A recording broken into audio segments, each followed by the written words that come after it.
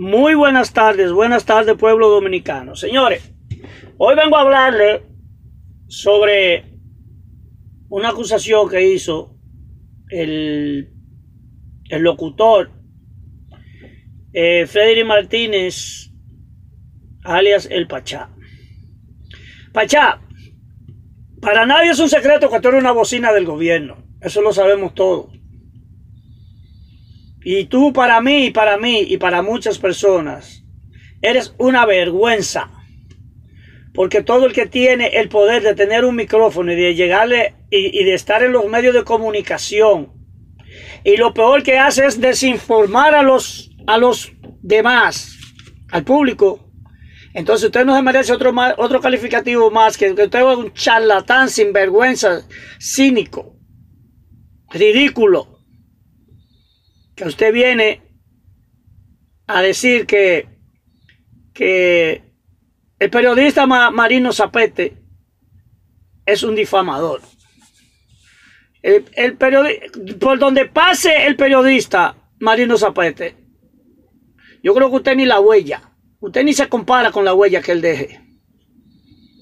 Porque la diferencia entre usted y, el, y el periodista Marino Zapete es como de aquí a la luna, sin vergüenza ubíquese. Usted es lo que es una cucaracha de seto. Porque usted lo que ha usado el periodismo para, para beneficiarse. Usted aguanta una auditoría. Yo me gustaría que le hicieran una auditoría a usted, Frederick Martínez, el Pachá. Me gustaría que le hicieran una auditoría a usted, buen atrapachele, para ver si usted la pasa la auditoría, a ver de dónde proviene su dinero. ¿Usted me entiende?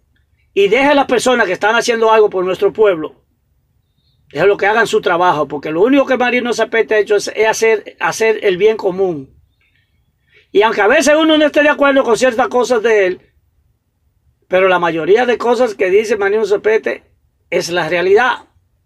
Y él difiere de ustedes porque no se ha vendido, porque no es un sinvergüenza como tú, que apoya a un candidato como Gonzalo Castillo, que solamente en tres meses eh, gastó 11.500 millones de pesos dominicanos y no se sabe en qué lo gastó. Y así sucesivamente. Y está en el caso de Odebrecht y, otros casos más de corrupción. Y está también ligado con, en el caso de, esta muchacha de la hermana del procurador. Entonces, Pachá, ubíquese. ¿Usted sabe por qué? Porque ese presidente que usted defiende, que se llama Danilo Medina, es el presidente que más ha endeudado nuestro país. Cuando Hipólito Mejía le entregó a Leonel Fernández en el 2004, la deuda de la República Dominicana era de 6.587 millones de dólares. Cuando Leonel Fernández le entregó en el 2012 a Danilo Medina, la deuda externa dominicana era de 15.508 pesos dominicanos. 15.508 pesos dominicanos. Y ahora mismo, en la actualidad, su presidente Danilo Medina está rondando los 44 mil millones de dólares, los 45 mil millones de dólares, eh, de dólares eh, en deuda. Exactamente 44 mil 892 millones. Sin contar lo que ahora están ahora mismo y siguen cogiendo y cogiendo y cogiendo. Entonces, ¿qué usted le dice a eso? Que usted le dice a un presidente que ha cogido casi 30 mil millones de dólares. ¿Dónde está todo ese dinero? ¿Qué se ha hecho con ese dinero? Estamos número 90 en educación de 149 países.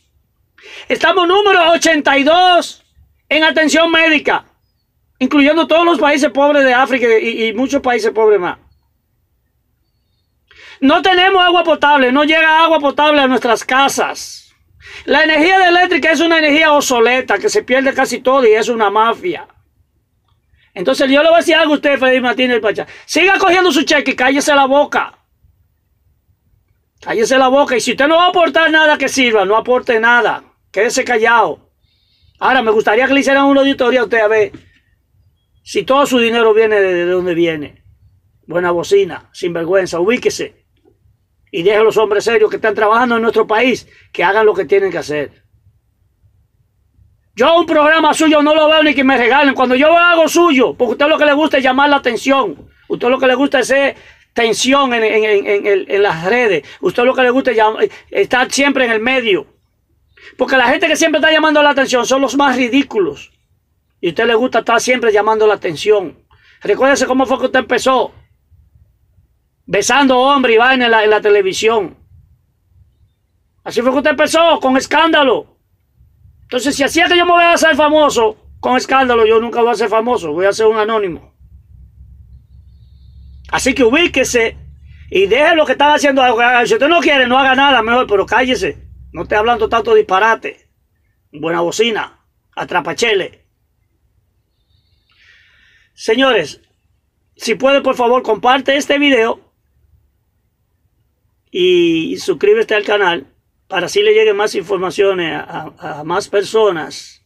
Y como le prometí anteriormente, la frase que le voy a, a decir en inglés hoy, traducida al español, para que el que le interese eh, aprenda a conversar en inglés. La frase de hoy es Good morning.